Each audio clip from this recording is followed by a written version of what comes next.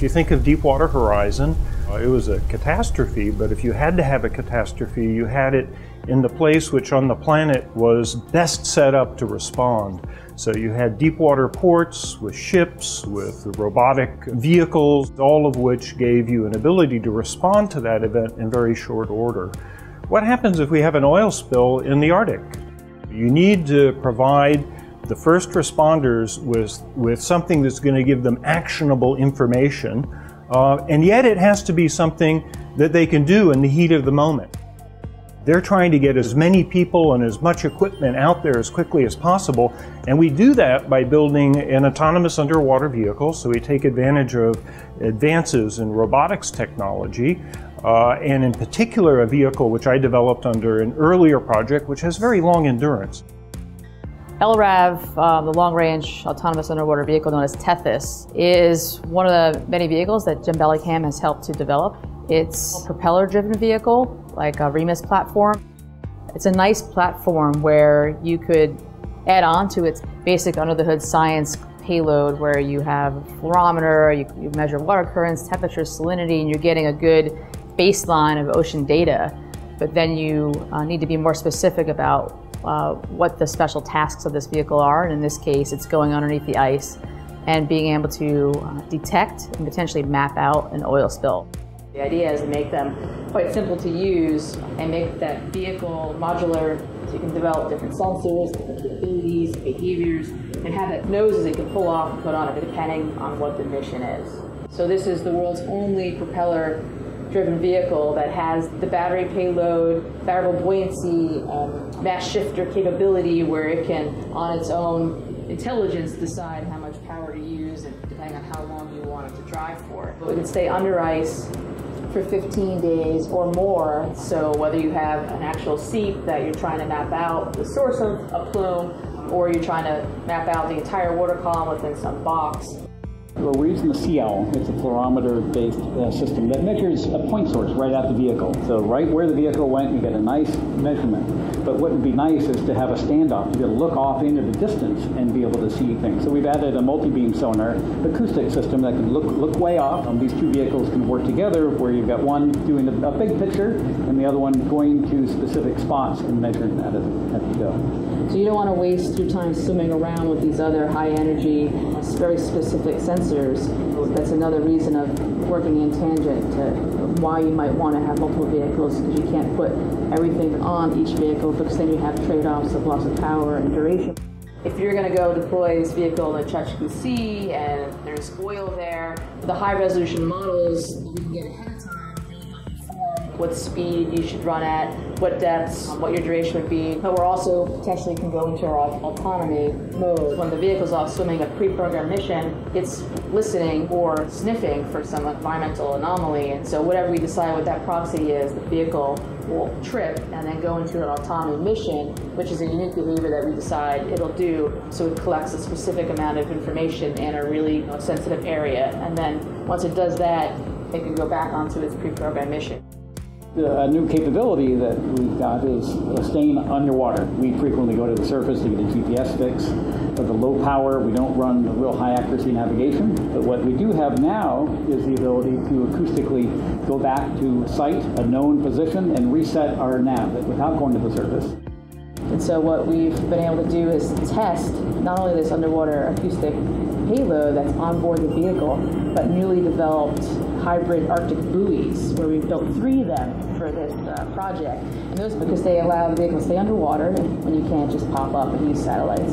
There's a hydrophone array, uh, it's newly integrated into LRAUV, and that array can interrogate a transponder that's part of the system, and then home in on that and work on what we call dynamic docking. So the vehicle can acoustically home to these buoys. They can also park itself onto these these buoys and hang out there. So you can imagine if you're up in the high Arctic, maybe you want to save battery power. We can home in onto a mooring on this buoy, a cable or a line, and actually dynamically attach itself to a wire where it can stay there and hang out in a low power mode. Or maybe it does eventually run out of juice, but at least you're actually sitting there on the wire and you know you're parked there and you have a surface expression. Or maybe even the vehicle can just hang out there and someone at command control could be sending messages through Iridium to the buoy and then down to the vehicle acoustically, and the vehicle can then undock itself. But you can imagine the theater that could be in play with multiple vehicles. So easy access to this vehicle to deploy it really quickly and up out front to characterize the entire environment to get a head start on what's happening.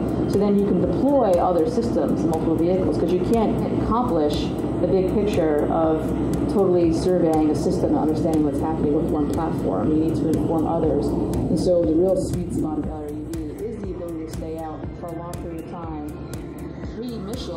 other assets might even be able to arrive on scene.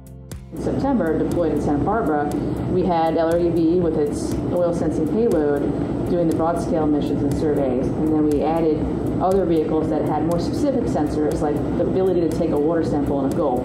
Also, a holographic camera that could take three-dimensional images. And so it was, it was feeding us out on the Coast Guard cutter heat maps of where these hotspots were. And so the CL did a fantastic job of finding these anomalies in the water column at depth and then we were able to inform other vehicles that were deployed to be able to go right to those areas and avoided wasting valuable time on the expensive ship with all these people on board. We sent it out uh, on a pre-programmed uh, mission from shore, ran the survey, we got a basic sense of the environment, and we started a new mission that did um, source localization. So it kind of swam back until it picked up uh, the signature in the water column. It could detect the edges of that, and it made onboard decisions to stay inside that patch. And while that had started, ship went out, deployed one of these moorings. With the one mooring, we could now send data back from the vehicle underwater, just like it were under ice. That message went to the gateway acoustically, and then over satellite or cell phone back to shore to the operators. One of the next steps in this project would be to work on alternative energy solutions for the vehicle and harvesting energy from the ocean, from underneath the ice, and doing some uh, recharge capability on the vehicle. We're also looking into putting different sonars and cameras on the on the vehicle. So we have to decide uh, what are the level priorities of importance. So what's possible is putting a bathymetry multi-beam sonar, so you can make three-dimensional nautical charts. You can have uh, obstacle avoidance acoustics, and that sonar can also potentially see oil droplets, gas droplets in the water column in the Arctic. And you can also put sound devices and hydrophone listening devices on vehicles, and you can listen for whales and know where the high populations of whales are coming through when they're under ice. And then we also have a variety of other physical and biological sensors that many scientists can benefit from in helping to create and improve models in areas of higher resolution. So that's whether it's temperature, water currents, dissolved oxygen, bioproductivity, you know, fluorescence turbidity, backscatter, which are a lot of the same fluorescent sensors we use to detect oil, dissolved hydrocarbons in the water. So we have to really go through all the strengths and the weaknesses of the system and do a full evaluation of that and then come up with what is we're going to tackle into year seven of this program. That's maybe even looking at making LRAUV a deeper rated vehicle. Right now it's rated at 300 meters. We, I think we need to look over the Arctic horizon and deeper water and more, you know, longer range and think about some of the other research questions beyond an oil spill that, that DHS can benefit from.